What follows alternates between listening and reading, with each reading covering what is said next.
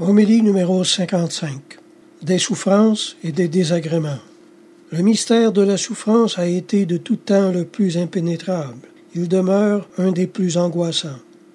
Que faire devant la douleur?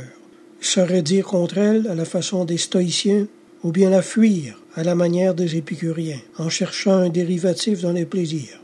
Ni l'un ni l'autre, nous dit l'imitation, mais suivre l'exemple de Jésus-Christ et souffrir comme lui. Voilà ce qu'il faut faire. Et comment a souffert notre Seigneur?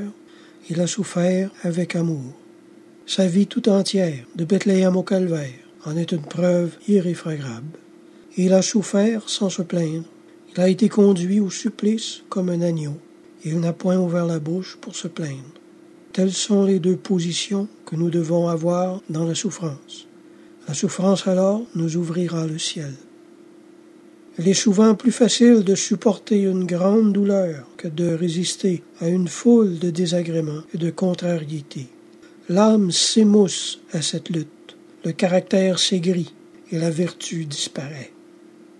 Il importe donc de s'armer de courage et de patience pour se montrer toujours d'un caractère égal au milieu des petites misères de la vie.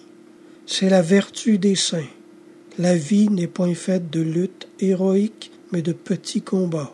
C'est là surtout qu'il faut appliquer le conseil de l'apôtre, combattre avec diligence, prendre la résolution de ne point rechercher ses aises dans les habitudes de la vie.